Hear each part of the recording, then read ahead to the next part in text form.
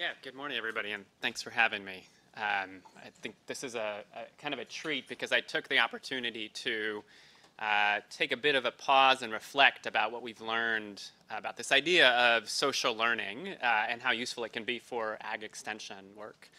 Um, so it was, it was very useful for me and, and hopefully for you as well. Um, okay, so what do we really mean when we say social learning, right? Uh, you know, this concept is, is kind of nebulous, lots of referrals to peer effects, social diffusion effects, kind of lots of language about this idea, right? Uh, you know, and, and really what we're looking at are, are the people who are not themselves directly trained, right? So we're trying to capture this notion of indirect learning that is, you know, maybe it's social in the sense that it's happening via friends and, and family and, and kind of what we think about as social networks, but, uh, but maybe not. But uh, you know, typically we think about these things as happening within the same geographic context, like a village or, or local network. But uh, sometimes we, we, think about this happening, you know, across uh, space through family or kin connections, right, uh, in lots of different ways. Um, so, you know, in just kind of the way that I, I do this with, with um, students and with my kids and, and with other colleagues, I want to just take you through like a two-minute exercise, okay? Grab your phones you're allowed to take your phone out. You might already have it in your hands, in which case that's okay. Grab your phones. Yeah. Okay. Now, turn to your neighbor, if you're, you know, or if you're maybe two neighbors, fi find someone else to talk to, and each of you gets one minute to tell your neighbor your favorite thing about your phone, the thing that it does best for you, the thing that causes you to love it. Okay? The best thing about the phone. Okay, and then switch and do it in reverse. All right, go. You have two minutes. Two minutes.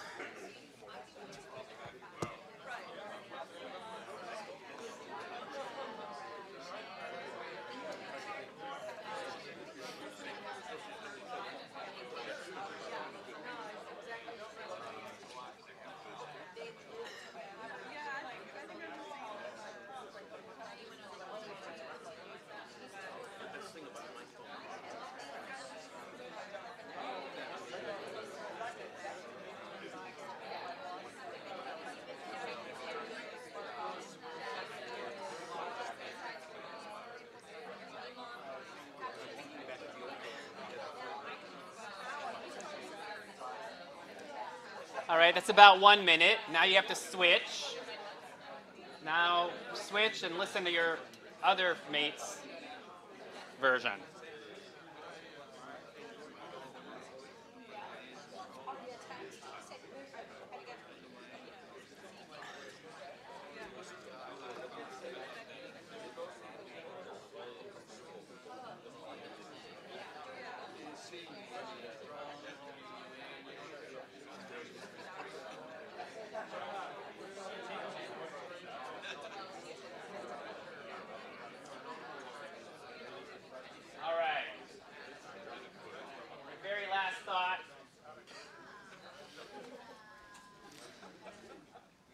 All right. Now, first of all, I want you to notice how hard it is for a faculty member to give up the floor for two minutes and let you talk to yourselves, right? But uh, let me pose a question to you now. So on the basis of what you've just learned, how many of you would be willing to or interested in switching phones and buying or you know finding your neighbor's phone instead on that on the basis of that conversation? Any interest? No, you're all, in fact, cemented in your own existing practices and behaviors, right? Despite our exercise here at Social Diffusion. Right? So, I mean, I, this is, you know, obviously a little bit of a toy example, but in some sense it really highlights this notion that we have people, agents, right, who, with deeply held beliefs who have in fact experimented and adopted a technology themselves, right, and are now communicating about it and you can start to see all the different complications in that interaction, right? In some cases, you don't know each other super well, so your social network links may be, you know, super shallow, but, but in some cases, maybe they're in fact quite, quite strong. You know, you can see kind of differences uh, in, in kind of baseline beliefs, differences in, in kind of risking it, all sorts of things going on here, right? And, and you could see how all of those factor into this. And in the end, we get zero adoption, and, and we go home and, and uh, try to write papers about it. So the striking thing is right that over the last quarter decade, I'm sorry, quarter century, uh, there has been kind of a raft of work documenting this kind of social learning in lots of different settings, right? Across the world, across, and especially in, in, in ag, but, but also in lots of other uh, non-ag settings, right? Including labor markets in developing countries, health insurance uh, take-up, um, nutrition behaviors, microfinance take-up, right? Lots of very different settings in which we are documenting real social learning, right? And, and I mean real here, not, and we'll get to this too, but not just in the sense of kind of mimicry and, and imitation, but, but actually kind of learning about the techniques and the practices in, in a deeper way um, that, that's happening. Um, and what's interesting is when you start to kind of unpack what the learning is really about, you can start to kind of tease out uh, a number of different facets, right? And, and, I think you probably started seeing this again in your kind of interactions just, just now. Now, part of this is about the benefits of the technique, right, or the technology or the behavior, right? What does it get you, right? What's the what's the the, the big thing, the big reason for doing it? A part of it that uh, you know is really about how you do it, right? What's the method for actually implementing this thing, right? Um, you know, maybe, maybe one of the reasons that you recommended your phone is because it has this really cool app that does something super useful for you, right? But, but maybe it sounds a little complicated to your neighbor to actually try to figure that out in their own context. Um, and so, you know, probably in that minute you didn't spend a lot of time saying, well, this is how you, this is how you actually use this particular app, which might be a barrier for, for some folks. Um, and then the downsides, right, are also things that I explicitly didn't ask you to talk about the downsides in that snippet, but, but they're, of course, important, both in terms of the actual costs of adopting the behavior, but also, of course, the risks associated with it. And, and um, what's interesting, right, is that some of these are what we think about as hard information, right? They're directly observable, or, or more directly observable, and some much softer and less directly observable information. Um, and the degree to which those things are true ends up really, I think, as we've learned, kind of governing the extent of, of social diffusion.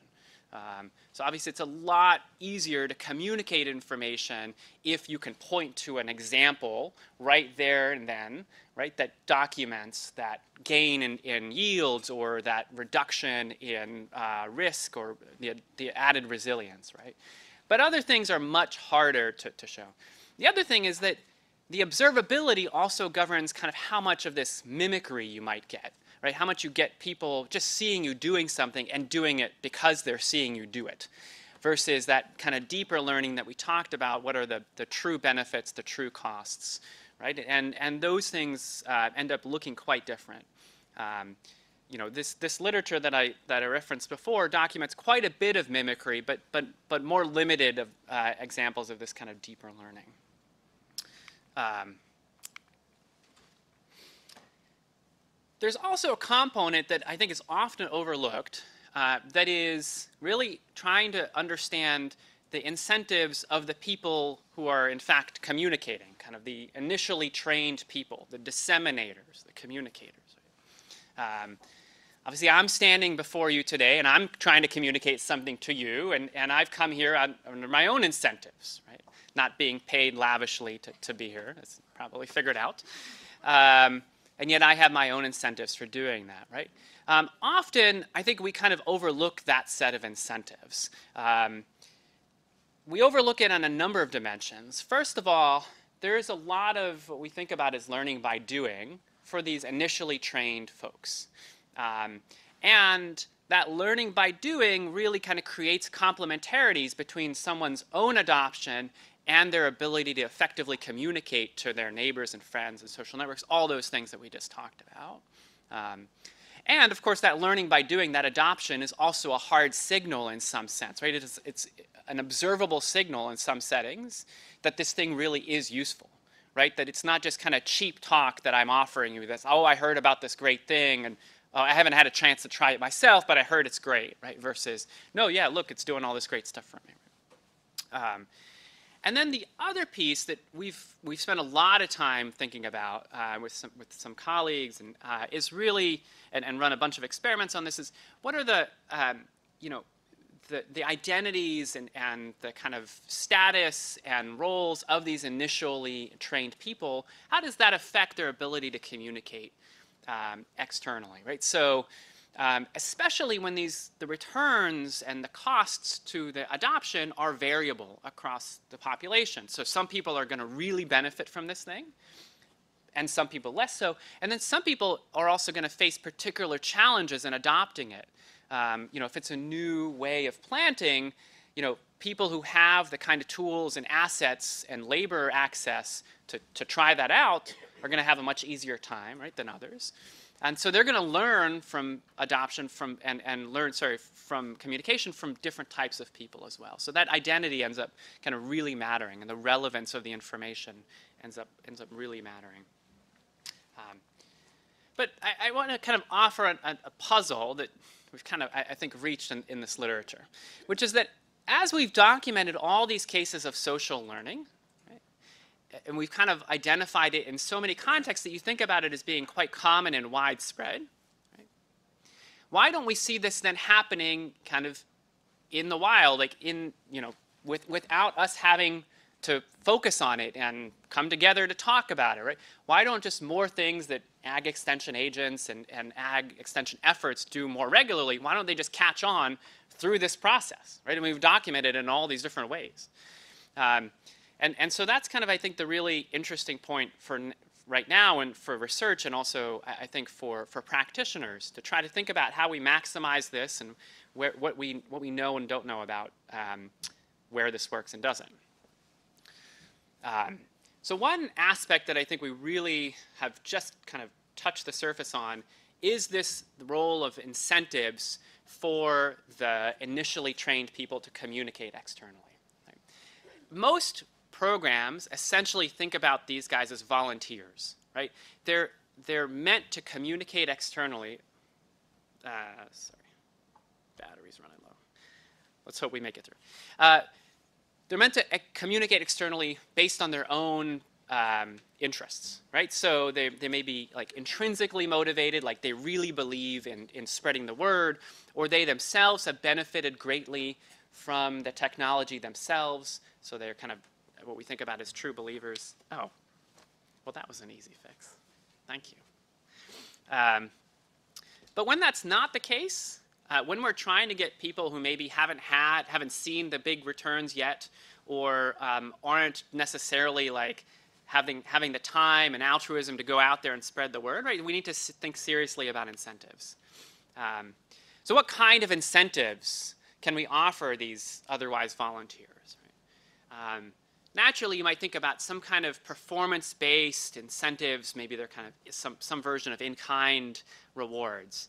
Um, and, we've tried different variants of these and, and uh, with varying success. So maybe at kind of the early stages, you reward these guys based on the spread of information alone, right? Just kind of capturing how much other people in their villages or networks know about the technique that they're trying to, to, to educate about. And then over time, you start to measure right, how that translates into a to take up an adoption among the other folks. We figured it out. Uh, I probably stepped on the plug and it came out. Yeah, you're good. Thank you. Thank you. Um, and then in the very longer term, you can start to incentivize actual outcomes. Right? But notice these also lead to very different types of behaviors. Like if you only incentivize information spread, right, people are going to find the nearest person that they can most easily talk to. Right? If you incentivize adoption, people are going to start to go a little bit farther. Right? But then there might also be cases, especially if the returns are variable, that they're willing to convince somebody to adopt it even if it's not helpful to them. Right? They're not going to, the, the, the communicators and disseminators aren't going to worry about whether this is a good thing for you necessarily. They're just going to try to get you to do it. Right? And then, of course, outcomes, which is what you really want, right? You want them to find the people who will benefit the most from this particular technique, right? But that's, of course, long term. And then you're asking these guys to do a different thing, right? Which is actually learn about the returns, not just to themselves, but to the potential uh, audiences, members, right? So these are all kind of very different flavors. We found that they work reasonably well if you put them together and try to sequence them kind of logically for people. So maybe after the first season, you're just rewarding some, some discussion and information spread. A couple years later, adoption and outcomes, right?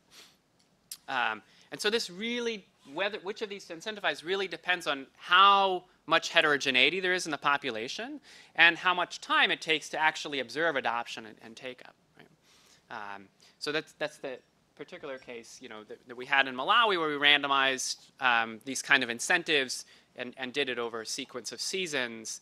Um, it seemed to work reasonably well. But you know, this is a technique that um, that we were promoting that, that actually seemed to benefit most farmers. So we weren't asking these, these um, communicators to necessarily go out and find the, the small number of people who would really benefit from this. Um, another role of incentives is to really try to push that communication out to the farthest reaches of the social network.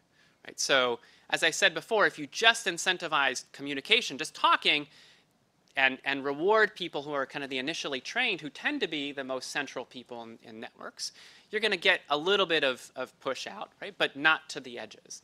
And it's really only when you start to reward really large amounts of communication that you get to see this kind of, um, of discussion. So this is a, a, really nice paper that did this in, in the context of health insurance in India, um, right?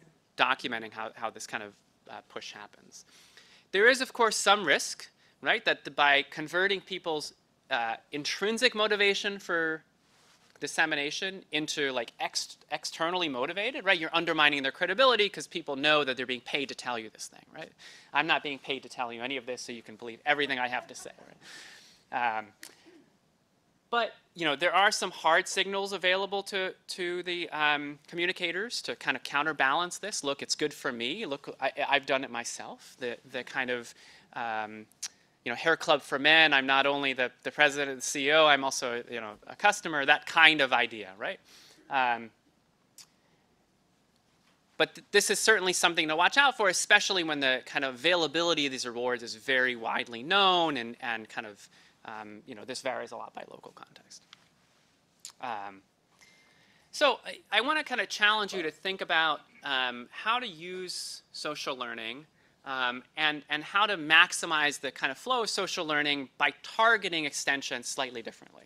None of this is, you know, hard and fast rules. These are just kind of, again, I would say kind of first, first challenges. Um, so extension, when we talk about it, really, it's really kind of a mix of agent-based and farmer-based, um, and, and, obviously different programs rely on, on those different agents differently. Um, where we do see farmer-based models, they tend to be what we think about as lead farmers, right? People who are self-selecting in and thus are more willing to experiment and typically are better educated, slightly better off than, than the rest of the population there, right? But these farmers might not be the most relevant to learning among the rest of the population, especially if there are skills, assets, um, you know, labor access, other complementarities, right, which vary across the population. Um, if that's really the case, then the learning that the audience is going to do, the kind of recipient of that information, is going to be maximized when they're learning from people who are like them or who have similar levels of access or maybe even less access to them, right? Um, so like my kind of canonical example for this is, you know, again, going back to the, the cell phone world, if my super techie, nerdy friend tells me about this great new app that they're using, right? I'm going to be like, oh, that's really cool, but probably not trying it out yet because they're at the leading edge of the vanguard and they figured this out and it's taken them a lot of other time and effort to figure out how to use this thing, right? Whereas when my mom tells me about, right, this great new app, no, no knocks on my mom, but she's not necessarily the mo most tech savvy person in the world, uh, then I'm like, oh, well, this has got to be easy to use. I can pick it up right now. Let's just crank it out right? And, and so that's kind of the same idea, right? And this notion that the costs vary across, and my costs, you know, maybe more similar to my mom, maybe they're just in the middle of the distribution, but if the costs are low enough that my mom can adopt it, they're certainly low enough that I could do it, right? Um, so that means focusing the training, though, on a different set of farmers, not necessarily lead farmers all the time, right? And, and again, not a hard and fast rule, but, but a push to, to move into more representative populations. Um, On the other hand, of course, lead farmers have self-selected in for a reason, right? So they're more willing to experiment and have the ability to withstand shocks if the particular technology doesn't work out and, you know, are, are there for a reason. So you might need to compensate those more representative peer farmers, right?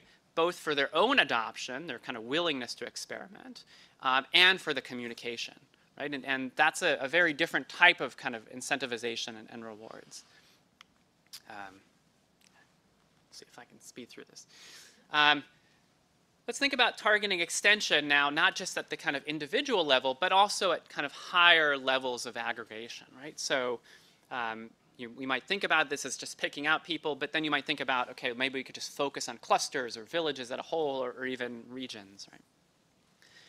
And the, the, degree to which, of course, you want to focus on these different levels depends on how much interaction and complementarity there is between those efforts, the social learning efforts of people in those levels, right? So um, one big reason for potential complementarities among uh, agents, right, is that we don't always just believe the first thing we hear. Um, sometimes it takes us multiple signals to start to draw an aggregate kind of estimation of the distribution such that we sufficiently believe that signal. If that's the case, right, then we need to hear about a technology or a behavior from multiple people. Right? And that suggests that it's better to cluster that initial training to people who are otherwise close to one another in a social network such that, thank you, that they communicate to the same people that information, right? That a particular person gets exposed to signals from multiple sources at the same time, right? That, that suggests kind of a much more targeted and clustered approach. There's also some level of, of actual interaction among the trainees, not just that they kind of hit the same people with messages, but that they may actually benefit from collaboration in some, in some degree, right? Um, whether that's coordination, like, okay, I'm going to talk to these guys, you guys talk over here, or if it's actual collaboration in the adoption of, of the practices, um, some kind of mutual insurance, um, and, and um, other kind of approaches. And we, we've kind of explored this in, in a paper trying to look at these different models, if you will, of social learning. Um, to what degree is social learning, for example, among maize farmers in, in um, Malawi, to what degree is it, what we think about is this kind of simple exposure idea where I just need to hear about it from one person. Maybe, you know, they just tell me enough or maybe I can see it from them, but that's enough to try to, you know, move the needle versus I'm, I'm one of these more kind of um, cautious people. I need to get it from multiple signals, right?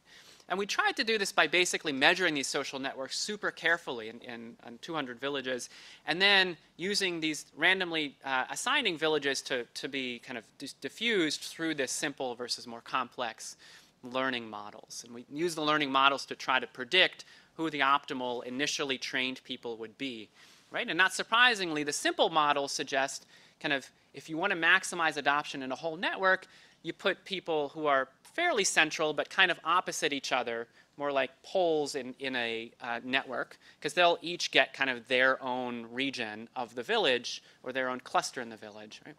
Um, kind of diffused and, and learning, versus if it's a more complex kind of world, we really end up targeting, and maybe we only get a part of the village, but we get adoption in that part of the village versus nothing throughout the entire village. And that exercise really let us also then kind of back out at, at the end what share of the population is using this kind of simple learning versus more complex learning styles. And, and actually we find it's, it's kind of half and half. Um, so it's, it's kind of an interesting insight that, that, you know, if anything, you want to average this and, and kind of mix what you're doing. But um, but, but that there is definitely some degree of complementarity and, and some more kind of this complex learning that has to happen. So simply, even if you want to target a more representative population, just targeting them at random isn't, isn't going to do the trick. Um, and then the last thing I just want to talk about is, is well, two things. Uh, gender dynamics uh, play heavily into all of this. Of course, um, lots of differences um, in uh, kind of roles all throughout the communication process. So both in ability to, to initially adopt and kind of their role as, as initial trainees uh, varies for, for, for across genders. so do many of those complementary skill sets and assets and everything that I just discussed about kind of the relevance of the learning.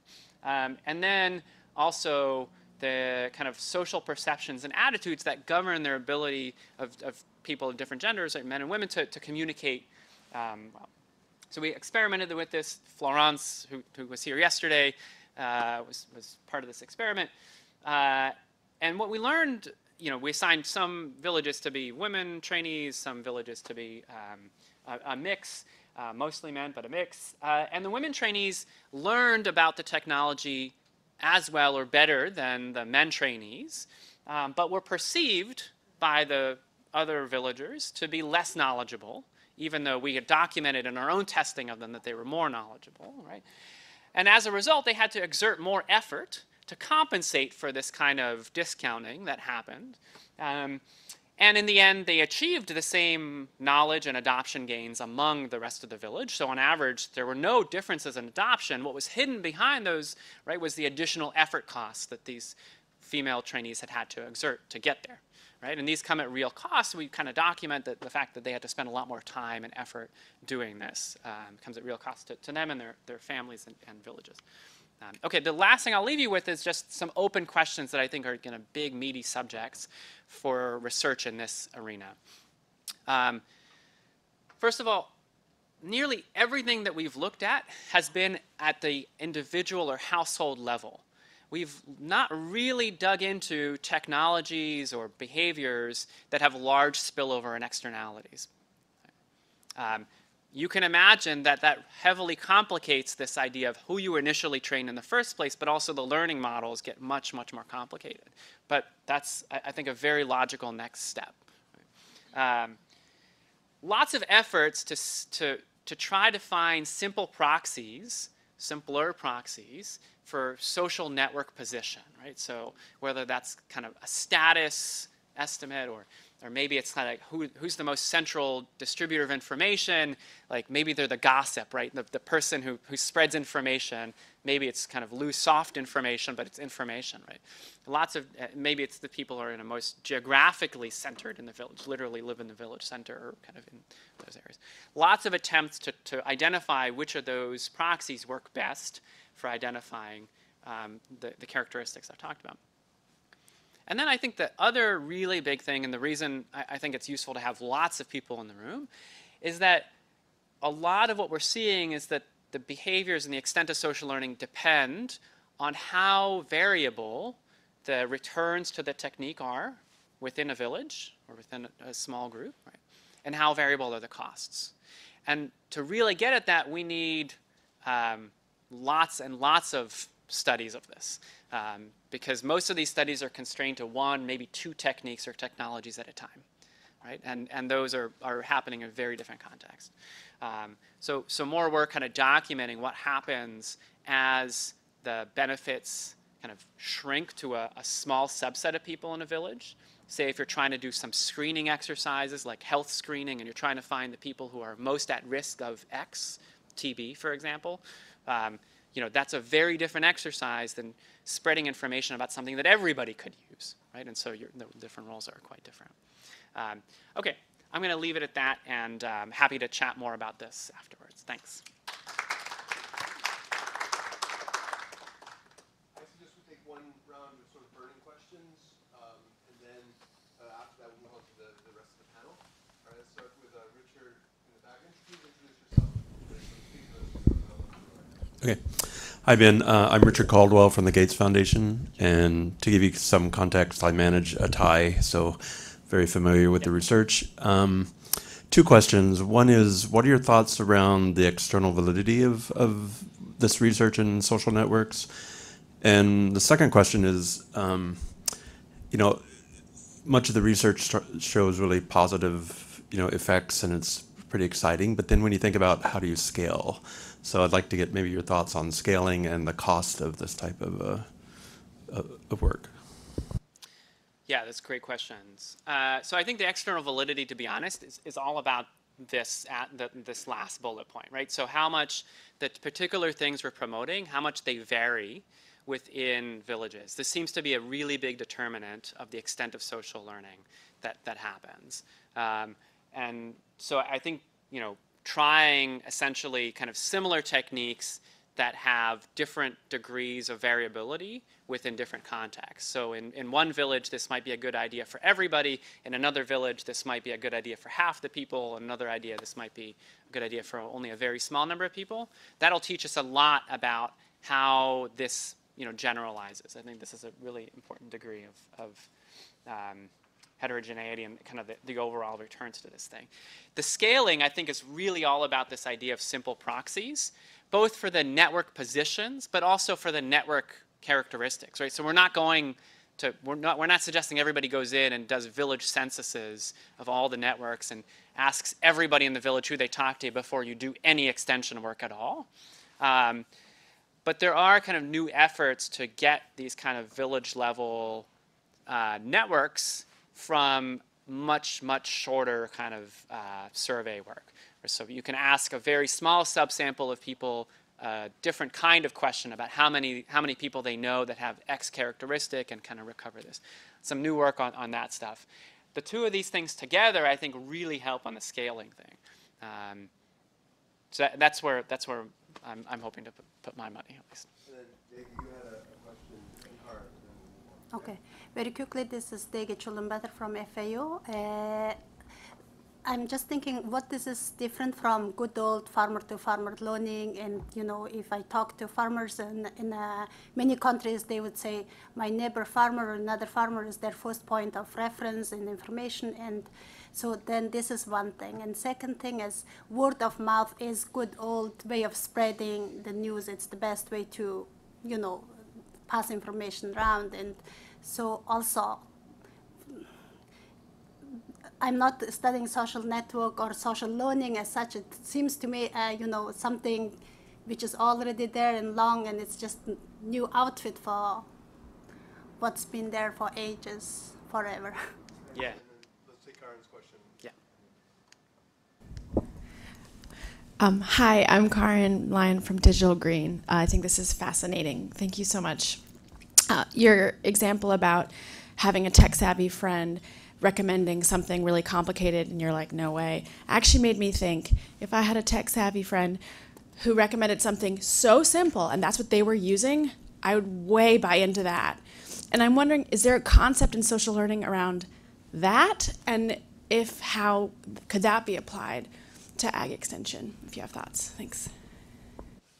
Yeah, thanks. Uh, I think on this just idea, it, it definitely is, I think, this idea of word of mouth and farmer to farmer learning and the, the same ideas are around.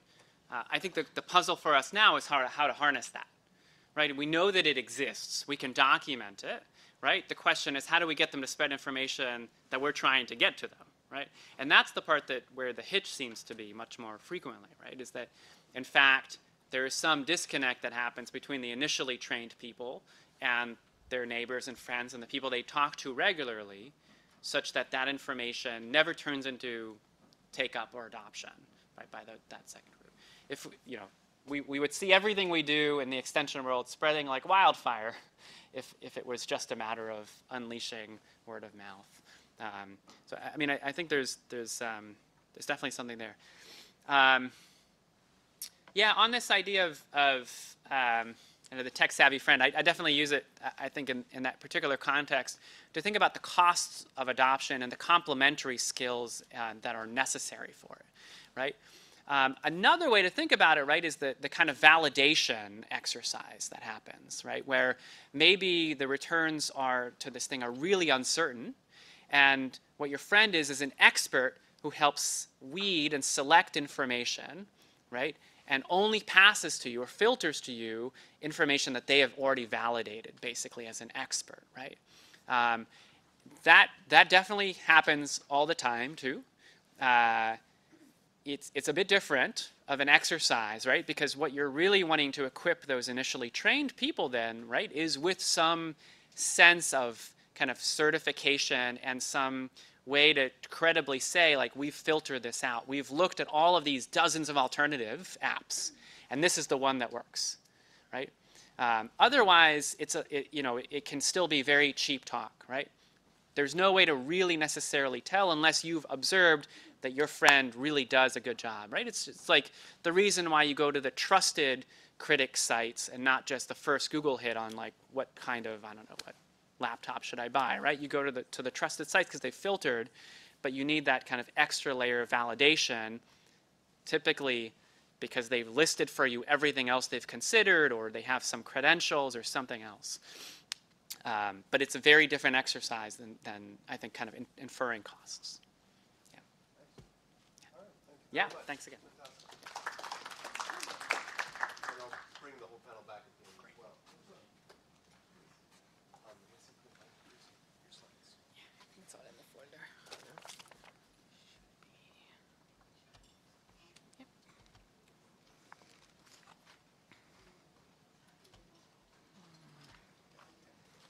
Yeah, I'll be quick. All right. Uh, Thank you, Ariel, for that very, very good presentation. Um, I'd like to talk a little bit about how to translate evidence into policy when it comes to behavior change communication and health and nutrition. Uh, Throughout my remarks, I'll refer to and draw on projects that IFPRI has been involved in in South Asia. However, there are similar interventions that are being conducted by governments and organizations throughout the world. And what I say applies to them more generally, and not just to health and nutrition, but really what I'm speaking about could be applied to ag extension, extension in, in education, and health and nutrition, and everything. Um, sorry. Okay. Uh, behavior change communication is now being used as an intervention in all kinds of development programs. In inducing farmers to change or adopt agricultural practices, like Ariel mentioned in his presentation, in improving credit and savings behavior, in inducing people to make better educational choices, and especially in improving um, the adoption of health and nutrition related practices. In health and nutrition, especially, there is by now a large volume of literature that speaks to the very promising positive impact that BCC can have in improving health outcomes. The broad consensus is that BCC alone also works, especially for easily modifiable practice such as hand washing, for example, um, and also especially works well in participatory settings. But we can potentially see stronger impacts if BCC is coupled with other transfers. Here's an example. The Transfer Modality Research Initiative uh, was a large-scale RCT conducted in Bangladesh uh, with IFPRI and in partnership with the World Food Programme.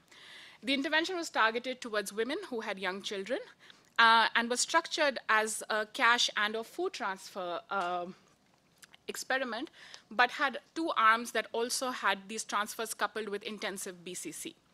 Both short and medium-term impact evaluations show that effects on health and nutrition-related outcomes were stronger when BCC was involved. These eff effects extend to outcomes which are beyond nutrition. For example, the team finds that it induced strong and positive impact on the intervention. Uh, the intervention had a strong and positive impact on lowering intimate partner violence, uh, only in cases where BCC was also involved. Now, while TMRI is a perfect example of how BCC can be used to complement other policy interventions, implementing such a pro uh, program at scale would require very strong political will and huge resource allocation. So in the absence of such uh, comprehensive programs, how has BCC been used in government interventions? And more importantly, why should we care? We should care because BCC is forming a large part of many government and, social, uh, government and civil society-led interventions, particularly in India. Um, where there is reliance, and so in India, for example, there is reliance heavily on these development agents, most of whom are drawn from within the community for last mile delivery of services and behavior change communication. There are, for example, the ASHA and Anganwadi workers in nutrition, uh, Pashu Sakhis or animal friends who are being used uh, to extend livestock related uh, information and extension and advisory. And then there are the farmer friends or the Kisan Salakars who are used for agriculture extension. Uh, many of these programs are leveraging the power of the collective by using self-help groups uh, to, de to deliver interventions. Part of the reason is that learning is assumed to be better when it's done in a group setting, an example perhaps of social learning. And also because self-help group members have often have access to these microloans. So by giving them information in a setting where they have access to resources to also act on that information makes for more effective uh, extension. Uh, so these are a couple of programs that IFPRI has evaluated that rely heavily on BCC, particularly in group settings. There is Jivika, which is run by the Government of India in partnership with the World Bank, and um, an evaluation of their BCC component by IFPRI has found that, the, that behavior change communication, health and nutrition has led to improvements in dietary diversity, both for women and children. Um, Care India, which is a large international NGO, um, has two projects called Pathways and Tarina that run in the Indian state of Odisha, where they have um, channeled BCC through uh, village groups and self-help groups, and we find that they, it had led to improvements in production and consumption diversity. Uh, the final project, which is Wings, which is done in collaboration with a large Indian NGO called PRADAN, has again um, used self-help groups to uh, extend BCC to reach women and children. Uh, and they, like, they are trying to study the impact not just on nutrition, but also on women's empowerment. And as we speak, sort of preparations are underway to do end-line data collection. Uh, so most interventions that we talk about in the context of BCC stress on improving the content and the delivery modality of BCC. Uh, in a more recent project that I've been involved in, we set out to answer a slightly different question, which is that apart from the message, how does the identity of the messenger uh, matter for information retention and adoption? Now, there's growing evidence, uh, like Ariel also spoke about, that there is uh, that shared identity impacts behavior and responses in field experiments, in surveys, etc. Um, this is even more pertinent issue when it comes to, say, uh, interventions that are targeted through self-help groups, which tend to be sort of ethnically homogenous. In the context of India, they tend to be caste homogenous because women self-select into groups. People in uh, habitations are sort of caste homogenous, which is why self-help groups also tend to be caste homogenous. And, and caste, for example, in India is a particularly important issue because it's an identity that continues to dictate a person's access to or lack of access to public goods and services. So this is something that we should be considering. In this context, the question we want to ask is whether the identity of the agent who is sent to deliver information or BCC or services, whether it, the, the fact that if it is in conflict or aligned with that of the group, would that matter in determining an intervention's success? Uh, we use a multi-treatment arm, uh, a multi-treatment lab and field experiment in West Bengal, state of India, to test A, how the provision of information affects an individual's nutrition knowledge and willingness to contribute to a club good, and B, how this effect is mediated by the caste identity of the information provider. Ariel, this speaks to your work on how social identity of the communicators and peer farmers influences others' learning and adoption. So like I said, two cross-randomized treatments, the provision of information and the caste identity of the information provider. This table shows just a quick distribution of our treatment arm. We interviewed um, over 2,200 uh, women, over 240 self-help groups. Now, we use willingness to contribute to la in labor hours to a club good, which is kitchen gardens, because this is a concept that women were familiar with. PRADAN, the, our implementing partner for this intervention, was routinely eliciting willingness to contribute to various group-based activities. So this is not a concept that was completely alien to them. Um, among the two caste groups, we chose to have other backward castes as high and ST, which is scheduled tribes, as low. Uh, and the reason for that is even though both uh, the constitution recognizes other backward castes and STs both as being sort of lower on the caste hierarchy. In this region, at least, OBCs were widely accepted to be placed higher in the caste hierarchy compared to the tribals.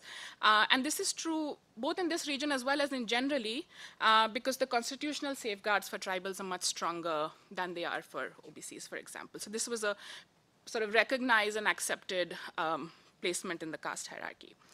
Um, before the experiment, we trained our um, agents extensively in the BCC content in order to standardize message delivery quality. So we didn't want anything to be determined by the way they were delivering the message and the quality of the message. So we tried to minimize this as much as we could.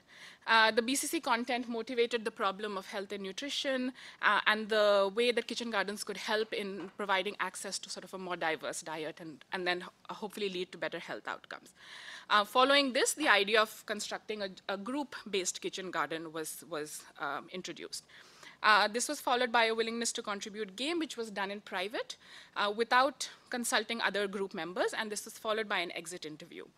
We tried to make this incentive compatible in that we were, they were told that a subgroup of randomly selected self-help groups will actually get a group kitchen garden, which will be facilitated by IFPRI and PRADAN. So what do we find? We find that BCC led to an increase in nutrition knowledge retention, but it didn't have any impact on willingness to contribute because baseline knowledge was already quite high in that group. But we do find that caste does have a strong and measurable impact. High caste agent, high caste agents uh, elicited a higher willingness to contribute, regardless of which group they were matched with. Uh, on the other hand, uh, knowledge retention was higher when the agent was from a lower caste. What does this mean for program implementation? Unfortunately, it is not feasible nor is it desirable um, to send agents who are from the same caste as the groups that are being targeted or agents who are always from the high caste, right? Uh, so we wanted to test whether there are modifiable attributes uh, that could offset the non-modifiable caste effect. Uh, and encouragingly, we find that soft skills such as agents' confidence and clarity in explaining concepts did lead to a higher willingness to contribute. We also find that group cohesion uh, and groups that are in groups that have been together longer are more willing to contribute labor hours regardless of which agent they were paired with, which means that we need to invest in training these extension workers. And we may want to target groups that have been in existence longer, uh, just so that we can elicit stronger uh, effects. I'd like to end by summarizing sort of three key elements that we must consider when implementing BCC in nutrition, but like I said, this is extendable to other kinds of interventions as well. Maybe we need to think about ways in which we can layer, uh, leverage already existing institutions such as village groups uh, to layer BCC onto. Um, there is a need to explore ways in which BCC could complement other programs and transfers because there seem to be uh, stronger positive effects when we do that. And finally, probably need to be cognizant of the ways in which the identity of the BCC provider could mediate these impacts that we are hoping to achieve. All right, thank you. Adam, we want to continue and then we'll. Okay, all the yeah, questions at the end. sounds good. Visual aids.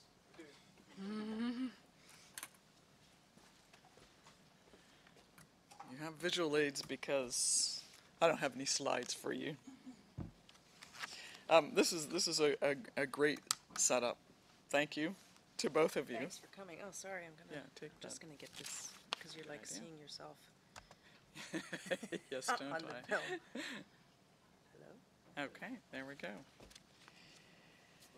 Um, so my name's Anna-Marie Ball. I work with HarvestPlus. Harvest Plus works in that nexus between agriculture and nutrition.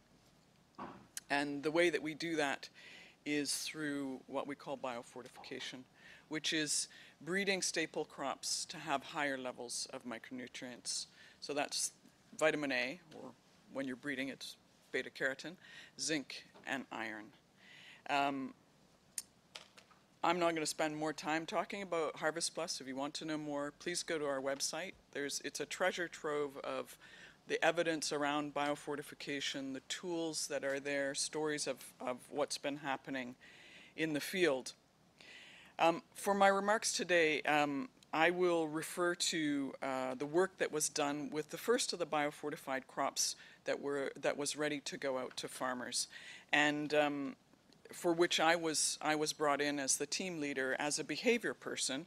Strangely enough, on a on a what I saw as a as an agriculture um, project, but um, in fact, when you do this kind of work, you actually do have to look at the fact that this is behavior change at all levels. So um, the first research was done um, in Mozambique and, and in Uganda. Um, it was implemented by partners in the field, heavily researched, as is the, the, um, the practice in IFPRI. Uh, I often say it was the most over-researched project I will ever be involved in. But uh, for that reason, there's a lot of, of literature um, that, that is already published. The second project, which was only in Uganda, looked at uh, farmer diffusion and was, was influenced by um, um, a social network study uh, done by Scott McNiven. And in that, so I should say the first, the first study played around with levels of, of extension int- intensity that was complemented by community level interventions and then mass media. And then the, the second big study was, was looking at diffusion and using the farmer group as the, as the control and then playing around with saturation levels of seed distribution in the community, one at 25%, one at 50%, and then another arm where we used opinion leaders and progressive farmers um, for seed distribution and for, for information.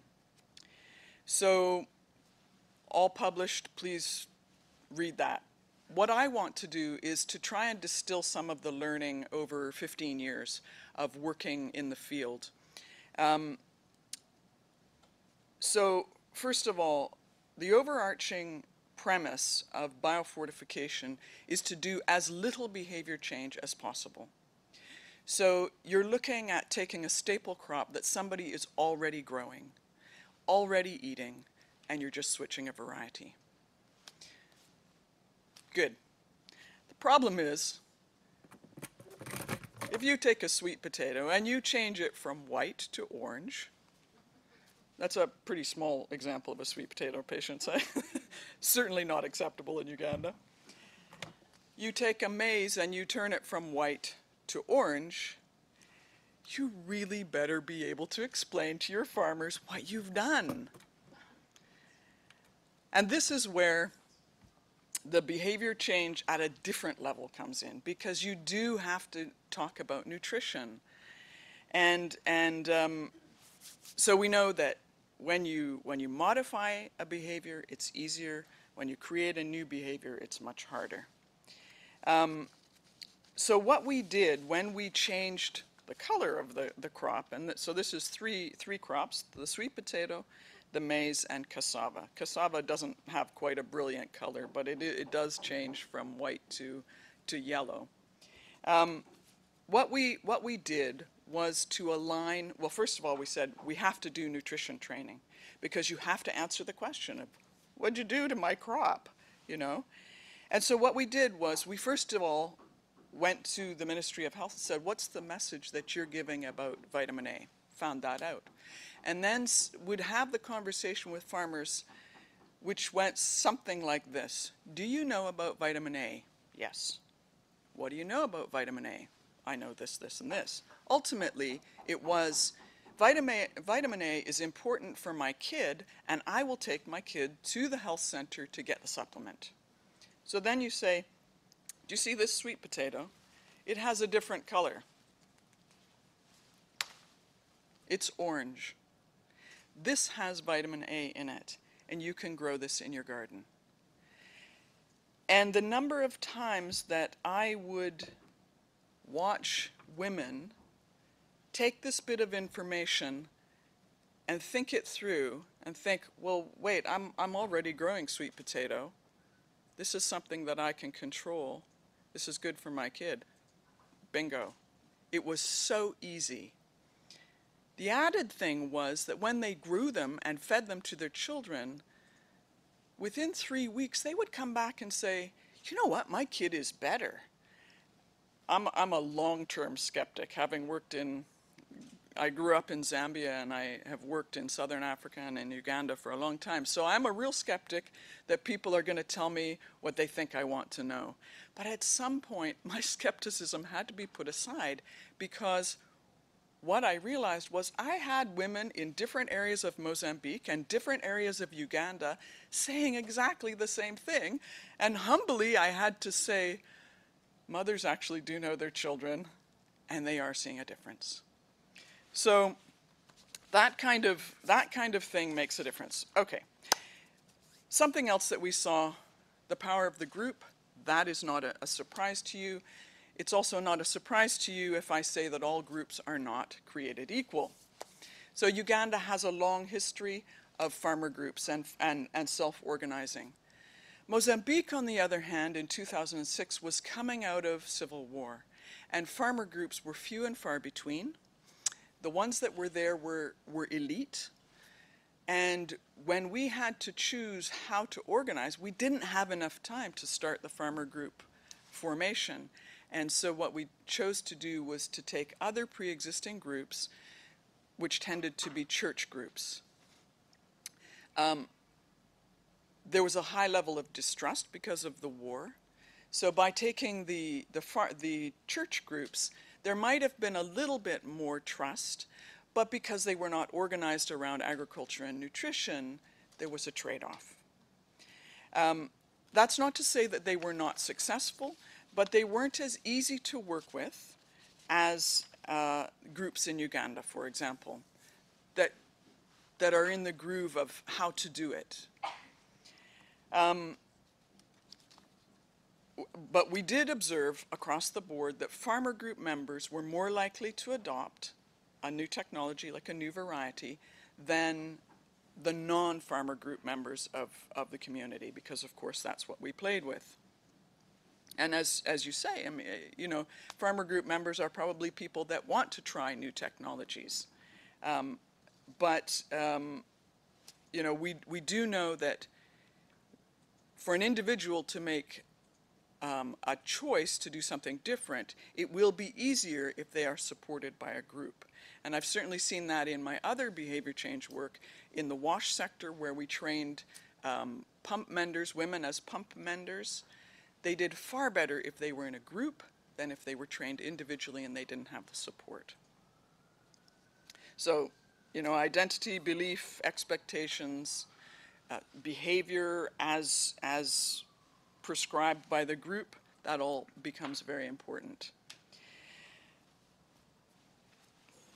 Quickly then, um, in, in terms of social, social learning, what we did and which has been described is, is sort of cascading training. We took an extension worker who trained um, a, a promoter who was chosen by the farmer group, not necessarily the farmer group leader, but chosen within the group.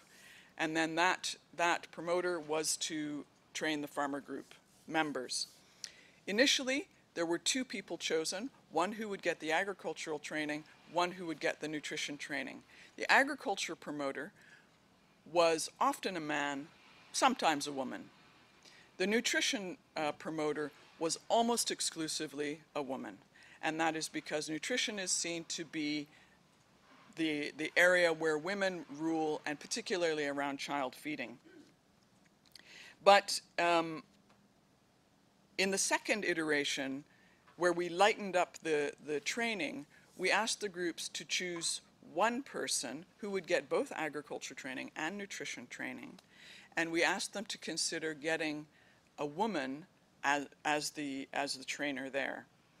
Um, we found overall that the women performed better, uh, the extension workers for, performed better, and the promoters performed better um, if they were women.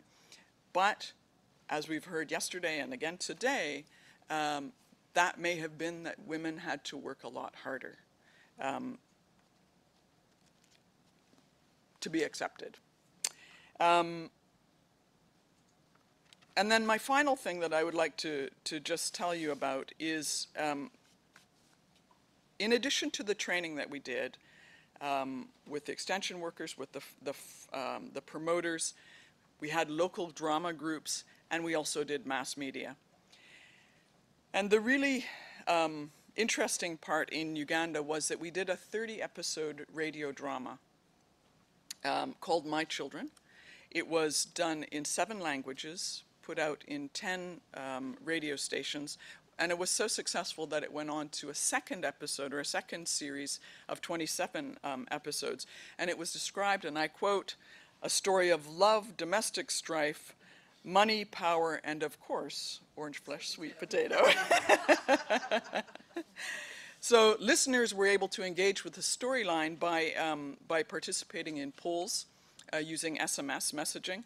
And we had more than 40,000 listeners putting out uh, 100,000 text messages in that first season. There's a whole bunch that can go in there. But I, but I want to tell you that the power of that radio drama was such that for two years in Uganda, the demand for the planting material outstripped supply season on season for two years. We could not have ever anticipated that. We had, we had worked very hard to make sure that there was seed throughout the country, um, but that demand was, was just crazy. And here's the thing, that when I started in 2006 in Uganda, there was no market for sweet potato vines. And when we did that radio drama in 2013, people were paying money for sweet potato vines. Now, if that's not behavior change, I don't know what is. Thank you.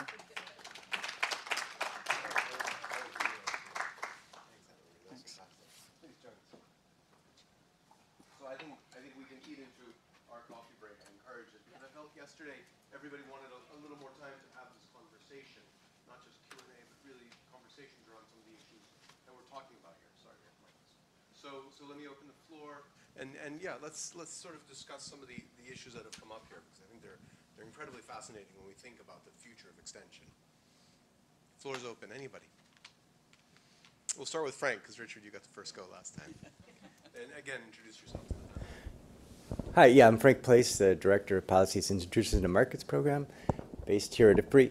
Yeah, I'm, I, yeah, drawing on some of the experiences we used to have at uh, ICRAF, we wor- worked quite a bit with volunteer farmers and, and trying to figure out who to communicate within communities that could pass on information to farmers. We had mixed successes, I, I would say. I think Steve's probably going to talk a little bit about some of the experiences we have in the next session, but you know, the way we interacted with, or the project interacted with some of these lead farmers caused so, social upheavals in the villages in some cases in Western Kenya.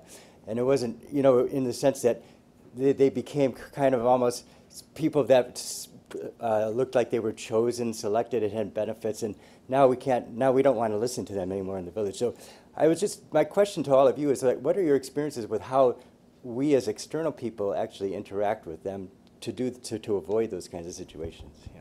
Would you like another, Richard? Me? Okay.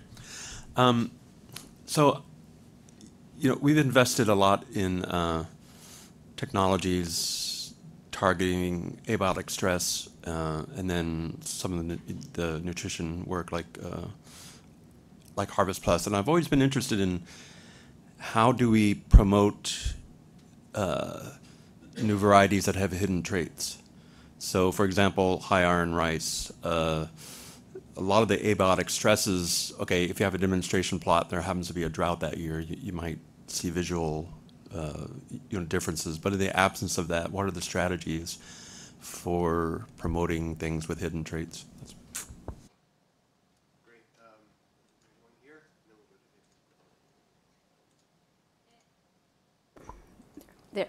There. Uh, I I don't know if I got lost somewhere. How did you know uh, in the Uganda case that uh, this demand was because of the radio thing? Uh, because I, I understood you were doing other things. Yeah, um, very interesting presentations, thank you. Um, on, on the social learning topic, or was that the label, social learning? Some of the presentations we've had here, and you know, many presentations are about research where did a kind of information or a specific technology, did people become aware of it, did they learn about it, did they use it? And I'm thinking about, um, back to the of supply uh, side of extension and information and the demand side. Sometimes, I think part of the, you know, the flow of information is definitely part of it. There's also trying to help people at the farm level become better critical thinkers and get skills for making good decisions about the new information and um, gain courage to do things that they haven't done before or their grandfather didn't agree that they should try or stuff like that. Is there much insight from, you know, the kind of work that you do? You didn't talk about that part as much, although it came up a bit in all the conversations, in all the presentations. Is there very much work about that aspect of social learning or, or does social learning contribute to understanding that kind of issue? All right, well, we start with Anna-Marie, and except that's blinking. Scrap that mic, because I don't know what's wrong with this one.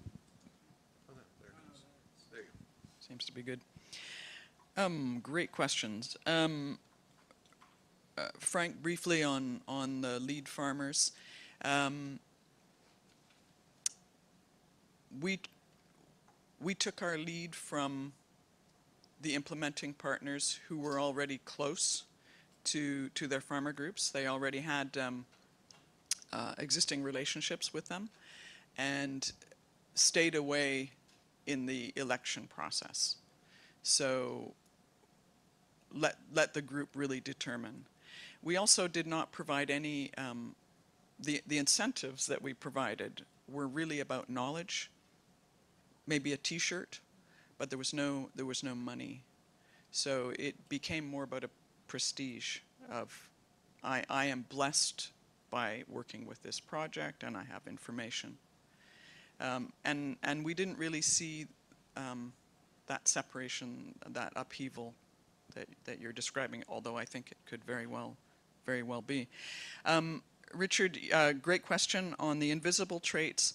It's a, it's a different, it's a different strategy. Um,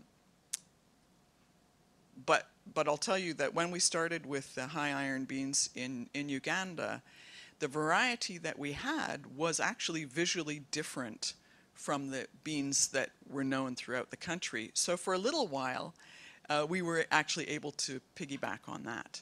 And, and farmers could say, oh yeah, that, that seed um, is unlike anything that I've grown before.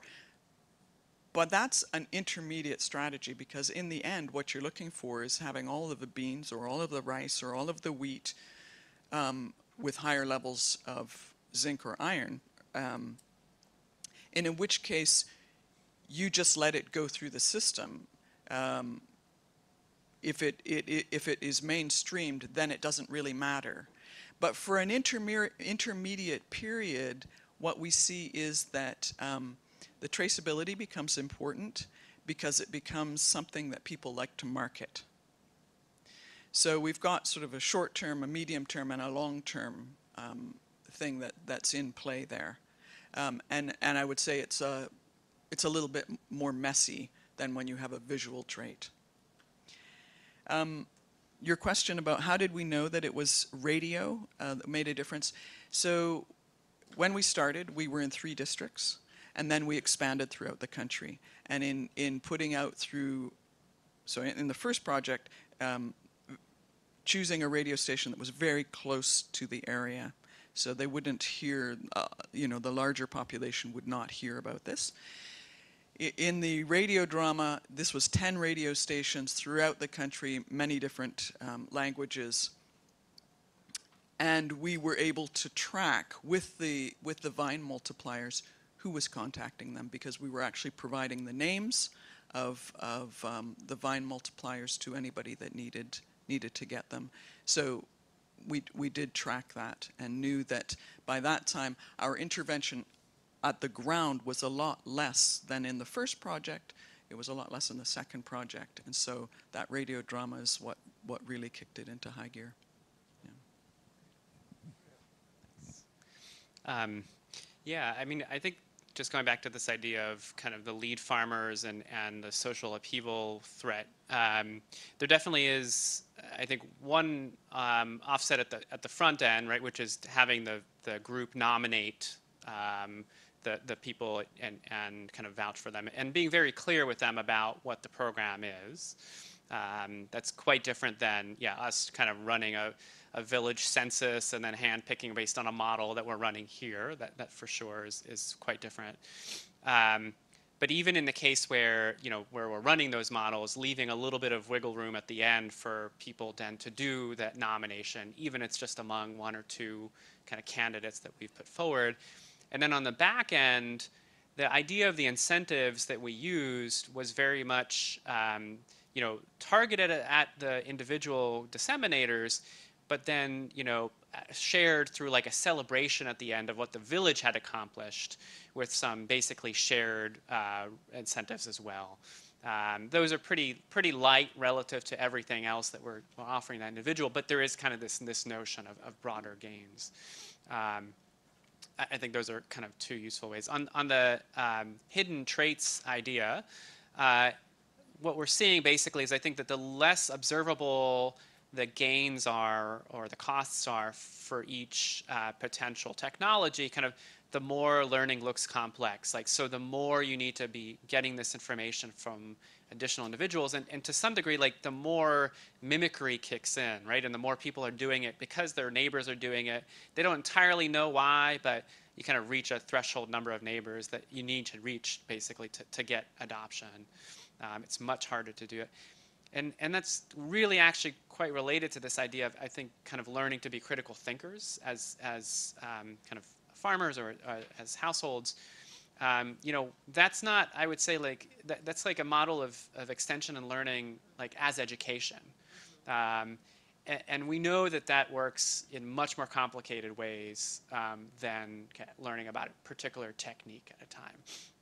Um, in, in um, you know, I, I think those are mostly kind of encouragements for the individuals to seek that learning, not just from their friends or neighbors, but but from higher sources, right? So it's the same reason, you know, I'm I'm encouraging my neighbors to send their kids to college rather than, you know, necessarily to just interact with my kids who are going to tell them to go to college or not. Um, you know, I, I think there's kind of that that um, appeal to once you reach a threshold amount of, of critical inquiry, that you know, it's it's going to outstrip what we can do socially, essentially, through kind of informal volunteer efforts.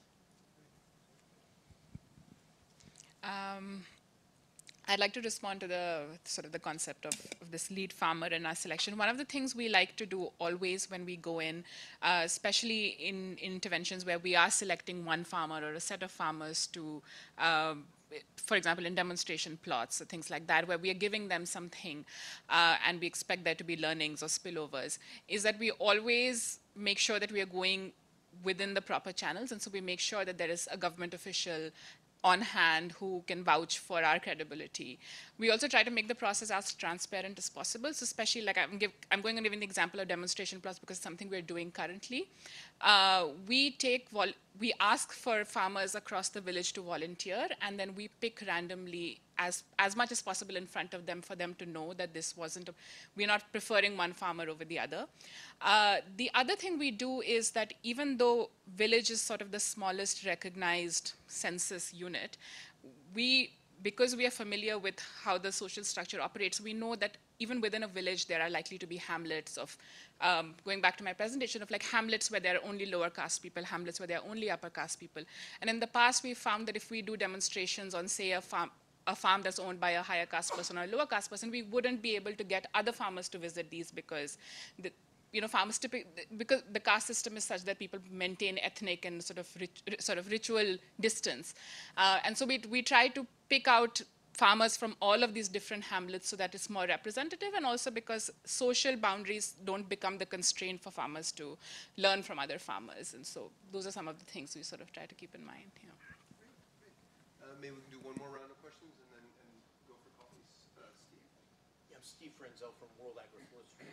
Um, I was intrigued by the, the titles that are used for these volunteer farmers. Um, you had lead farmer, which is uh, really has a has a, uh, a, social status there. And if you go to Malawi, you also hear that the farmer, the other farmers around them are called follower farmers. like they get in line behind the lead farmer, the. It's a very it can be a very hierarchical system.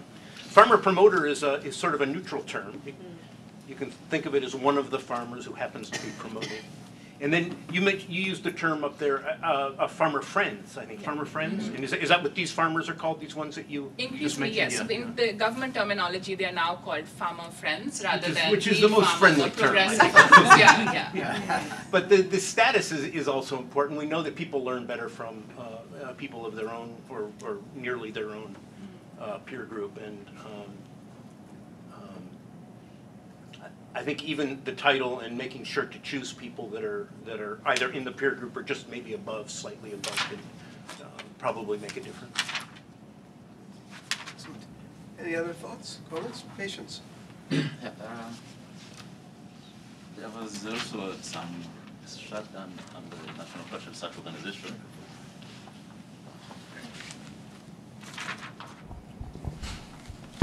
Yes, uh, the National Crash Research Organization did some, work on uh, orange flesh sweet potatoes, and um, they were using pupils in schools as a channel for inf- uh, disseminating the technology.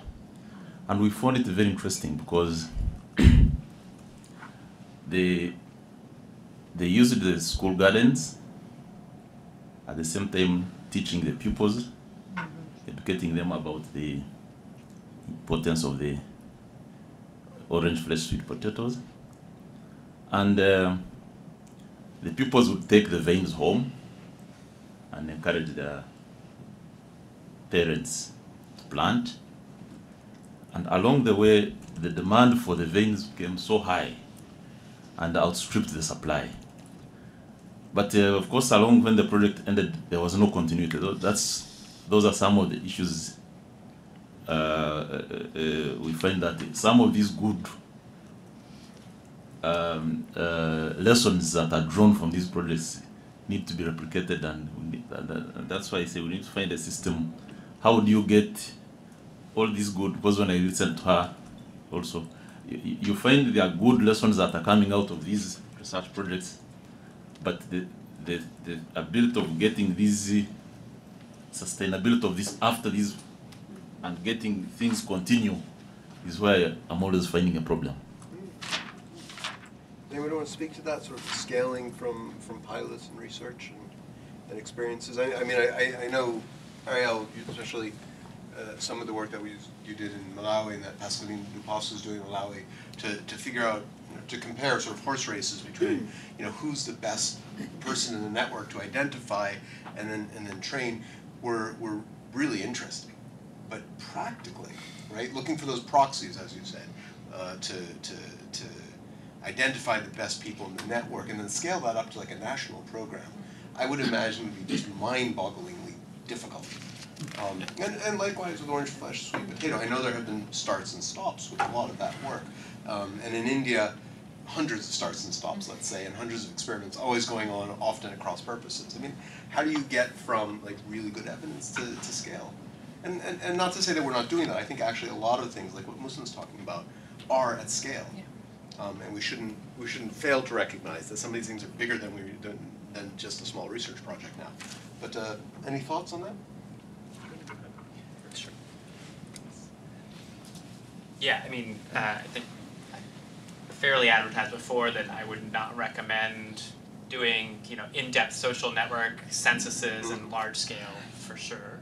Um, and that, uh, yeah, I mean, I think our first pass was like, let's find proxies, right? Like easy to observe correlates of social network position, right?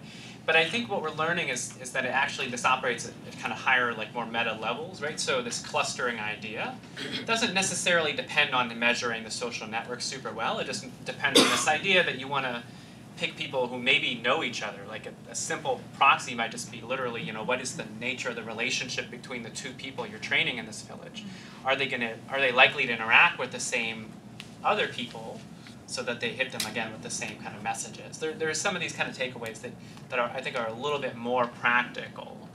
Um, you know, that being said, I mean, I think the other lesson really is that that the different you know, there's lots of heterogeneity in the way people are learning also in that population, right? And, and some people are going to be easier to reach than others. Um, and we can compensate for that, I think, to some degree by also making sure that, you know, some people are going to be pretty quick to take it up, and then there's going to be that, that more marginalized population that does require either incentives for those initial disseminators or other kind of ways to reach them with multiple signals maybe some hard information like pamphlets or, or you know other kind of uh, easy you know visual aids. All of those kind of tools that we have are going to be targeted at that kind of last i would say quarter to a third of the population that isn't going to be recipient. Those are I think, practical lessons. Okay, so with the with the sweet potato, our end goal is to saturate the country with vines. But along the way, that's that's actually um, uh, it's tricky because when we started, if people didn't tend their vines and they lost their seed, they lost their seed. There was no other source. So this um, that initial project led to this social network um, uh, study, which then led to the next one, which was okay. What do we need to do to ensure that the crop stays in a community? And what's the saturation level that we need to look at? Um, and in the end, it was if fifty percent of people in the in the in the community have the vines, it's going to be there. It's going to stay.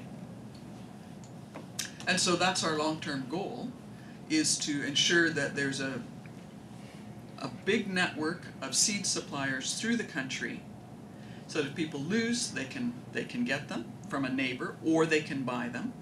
Um, and and we know that not everybody will adopt, but there will be enough. and so we will not have to worry so much that the project finishes with school kids. But I, I just want to tell the group that uh, kudos to Uganda. They have a World Bank project that works with both sweet potato and and beans using schools and and health centers getting into and getting the crops into the communities and I think that that is extraordinary. So I think that the country is well on its way to having saturation levels. In fact, I think we would be hard pressed right now to find a place in the country that doesn't have orange flesh sweet potato, unless of course the conditions are such that they cannot grow them. You know, some areas of Karamoja just too dry. But I think that the saturation level um, is, is quite significant. Great, and Muzna, you have the last word before we go for coffee. Yeah, so as David mentioned, I mean, one of the things we like to do is not set up new institutions in our intervention, but leverage already existing institutions. So I think that's one thing that really helps you do projects at scale. And so when we're working with self-help groups, for example, we're working with self-help groups that are set up either under a government program or under a large sort of civil society-led initiative. Um, and so that's one of the things, I guess, that you can do to make sure that your interventions are done at, at scale, is to leverage already existing institutions instead of trying to set up new ones and building from scratch. Excellent. All right, well, thank you all very much for the questions uh, and the discussion, and thanks to the panel for uh, their insights.